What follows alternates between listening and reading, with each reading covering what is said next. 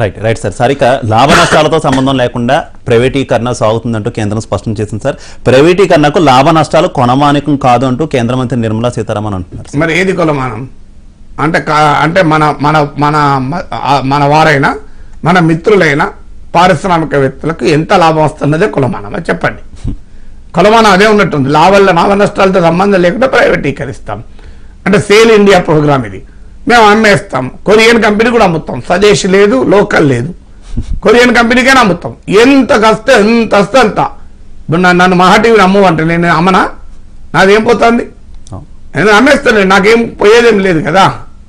So నన్ను నన్ను నన్ను ఇప్పుడు ఉదాహరణకు చార్మినార్ అమ్మని అనుకో నా నా నాదేం పోతుంది? నాది కాదు అమ్మేస్తా. ఆ- ఆ రకంగా ప్రభుత్వము కారు చౌకగా ప్రభుత్వ రంగ ఆస్తులు అమ్మేస్తుంది. ఎందుకు? అందుకే లాభ నష్టాలతో సంబంధం లేదు. లాభ లాభ నష్టాలతో సంబంధం లేదు అని ఎందుకంటున్నారంటే మా వారికి మేము మేలు చేయగలిగినాం.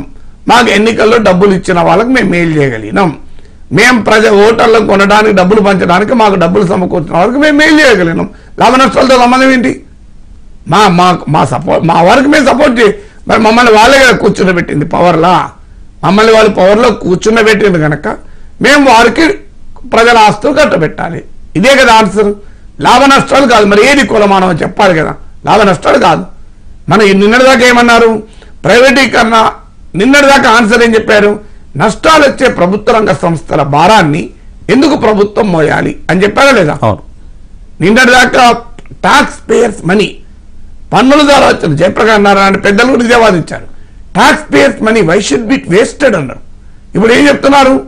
మా ఆదాయం వచ్చినా మేము అమ్మేస్తాం అంటున్నారు. మా లాభాలు వచ్చినా అమ్మేస్తాం. లాభాలు వస్తే కమ్మాలి ఆన్సర్ లేదు. అంటే రీజన్ ఒకటి. నేను అందుకే మీకు విశాఖ స్టీల్ ప్లాంట్ ఉదాహరణ కదా. రెండు లక్షల కోట్ల విలువైన విశాఖ స్టీల్ ఆస్తుల్ని ముప్పై రెండు వేల కోట్లుగా నిర్ధారించారు ఆల్రెడీ. ఎంత అమ్ముతారో లాస్ట్ తెలియదు. ఏ పదివేల కోట్లకు అమ్ముతారో అంటే లక్ష కోట్ల భూములే ఉన్నాయి. ముప్పై రెండు వేల కోట్లు చెల్లిస్తే అది కూడా వీళ్ళు చెల్లించారు. ఎంత దుర్మార్గమైన ప్రైవేటీకరణ అంటే ఇప్పుడు ఏమవుతుంది? పోసుకోవాడో ఆదాని వస్తాడు. రెండు లక్షల కోట్ల విలువైన విశాఖ స్టీల్ ఆస్తి. దానికి ప్రభుత్వమే లెక్క అయిపోయింది ముప్పై రెండు వేల కోట్లు. సో ముప్పై రెండు వేల కోట్లకు నేను కొంటున్నాను అగ్రిమెంట్ చేసుకుంటాను ఈ అగ్రిమెంట్ తీసుకుపోయి బ్యాంకులో పెడతారు. బ్యాంకు వాళ్ళు ముప్పై వేల కోట్లు అప్పిస్తారు. ఆ ముప్పై వేల కోట్లు ఇక్కడ ఇచ్చి రెండు వేల కోట్లు పెట్టి ముప్పై వేల కోట్లు బ్యాంక్ అప్పు చేసి విశాఖ స్టీల్ కొనేస్తారు. కొన్న తర్వాత భూములు అమ్ముకుంటే లక్ష కోట్లు వస్తాయి.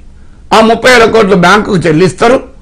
ఇంకా రెండు వేల కోట్లు ఖర్చు పెట్టినందుకు రెండు రెండు లక్షల కోట్లు లక్ష డెబ్బై వేల కోట్ల ఆదాయం.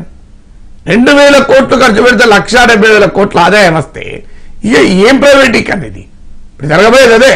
మళ్ళీ ఆ బ్యాంకులు ఎవరు మన అంటే ఎంత దుర్మార్గమైన నీచమైన దోపిడీ మీరే చూడండి. మొత్తం విలువ విశాఖ మరొకసారి చెప్తున్నా. వికా విశాఖ స్టీల్ మొత్తం ఆస్తుల విలువ భూములు మిషనరీ రెండు లక్షల కోట్లు. దానికి ఎంత రేట్ అని డిసైడ్ చేశారు? ముప్పై రెండు వేల కోట్లు డిసైడ్ చేశారు.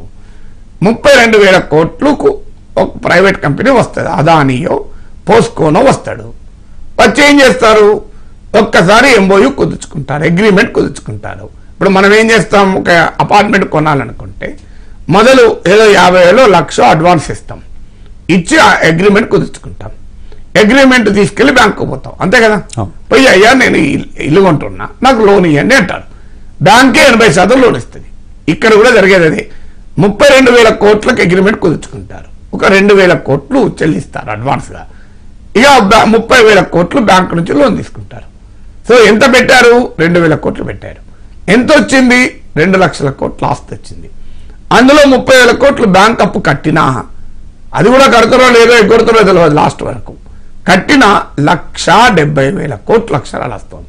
సో రెండు వేల కోట్లు ఖర్చు పెడితే అదానికి పోస్కోకు లేదా అంబానీకో ఎవరికి అమ్ముతారో తెలియదు కనుక లక్ష డెబ్బై వేల కోట్లు వస్తుంది. ఇక అందులో ఇరవై వేల కోట్లు పార్టీకి ఇయరా ఫండ్? నాయకులకు జేబులు నింపరా? మరి అవన్నీ MP election MLA election MLC ఎన్నికల్లో రావా? ఓటర్లకు కొనరా? ఈ ఓటర్లకు ఐదు వేలు పదివేలు కాదు లక్ష రూపాయలు ఇచ్చినా ఏమవుతుందండి? ఇప్పుడు ఓటర్కి ఐదు వేలు ఇచ్చిండ్రు అంటున్నారు. ఐదు వేలు అంటే ఏంటిది? యాభై కోట్లే లక్ష మందికి ఇచ్చినా యాభై కోట్లే కదా? మరి లక్ష ఓటర్లకు ఇచ్చినా యాభై కోట్లు. యాభై కోట్లు పెడితే లక్ష ఓట్లు కొని వేసుకోవచ్చు సో ఇది కదా రాజకీయం నడిచేది. అయితే మిగతా రెండు లక్షలు లక్ష ఓట్లు ఓటర్లకు ఉన్నా కూడా వాళ్ళు అమ్ము అమ్ముడు పోయి ఓటేస్తారన్న గ్యారంటీ లేదు. మళ్ళీ అది కూడా ఉంటుంది. రేపు తెలుస్తుందా? మీరు డబ్బు కౌంటింగ్ ఓపెన్ చేస్తే. వాళ్ళు డబ్బులు తీసుకొని కూడా ఈ దోపిడీకి వ్యతిరేకంగా ఓటు వేయచ్చు. అందరూ డబ్బులు తీసుకోరు కదా. మెజార్టీ తీసుకోరు. సో ఈ అంటే యాభై కోట్లు ఏమున్నది? ఇప్పుడు రెండు వేల కోట్లు ఖర్చు పెట్టి లక్ష డెబ్బై వేల కోట్లు వచ్చినాక ఆ ఆదానం యాభై కోట్లు వంద కోట్లు హైదరాబాద్ పంపడా? ఇంకో యాభై కోట్లు నల్గొండ పంపడా? ఇంకెక్కడికైనా అస్సాం పంపడా? తమిళనాడు పంపడా? కేరళ పంపడా? బెంగాల్ పంపడా? ఇది కదా ప్రైవేటీకరణ అంటే జరిగేది. కేంద్ర ప్రభుత్వమేమో విలువైన ప్రభుత్వ రంగ ఆస్తుల్ని కారు చౌకగా అమ్మి ఆ డబ్బుతో రాజకీయం చేయడం. రాష్ట్రంలో అధికారంలో ఉన్న వారేమో పదివేల రూపాయలతో అయ్యే ప్రభుత్వ పనిని ముప్పై వేల రూపాయలు చూపెట్టడం. ఆ డబ్బుతో వీళ్ళు రాజకీయం చేయడం. ఇది కదా దేశంలో జరుగుతున్న రాజకీయం. ఇలా జరిగితే మనం కామ్గా కూర్చోవాలా? అందువల్ల లాభాలు వచ్చినా నష్టాలు వచ్చినా మేము అమ్మేస్తాం అంటే అమ్ముతారు కదా మరి మన వారికి పైసలు రావాలి కదా. మనది కానప్పుడు ఎదగైనా అమ్ముతారు. నా నేను అమ్ముతా చా చార్మినార్ అమ్ము అంటే ఒకవేళ నేను దురు- దరిద్రుని అయితే కాదు కనుక అమ్మను ఏమన్నా నాకు ఎంత సొంత లాభం కదా? నాది కాదు కదా చార్మినార్. ఇప్పుడు నిర్మలా సీతారామన్ కష్టపడి సంపాదించిన ఆస్తి కాదు. మోడీ సంపాదించిన ఆస్తి కాదు. అమిత్ షా సంపాదించిన ఆస్తి కాదు. విశాఖ ఉక్కు మీరు అమ్ముతారు మీదేం పోతుంది? అంటే ఇప్పుడు మనది కానప్పుడు మన ఇల్లు అమ్మాలంటే సవా లక్షలు లెక్కలేస్తాం పక్కింటి వాళ్ళ ఇల్లు అమ్మాలంటే మనకేం లెక్కండి? ఎందుకని అమ్ముతాం ఎంత సొంత లాభం కదా? నా అపార్ట్మెంటు అమ్మాలంటే నేను. నేను ఇంత పెట్టుబడి పెట్టినా మార్కెట్ ఇంత రేటు ఉందని. పక్క పక్క అపార్ట్మెంట్ అమ్మాలంటే ఎందుకన్నా తీసుకో యాభై పది లక్షలు తీసుకో అంట. కోటి రూపాయల అపార్ట్మెంట్ పది లక్షలు వచ్చిన నా లాభమే కదా అంట.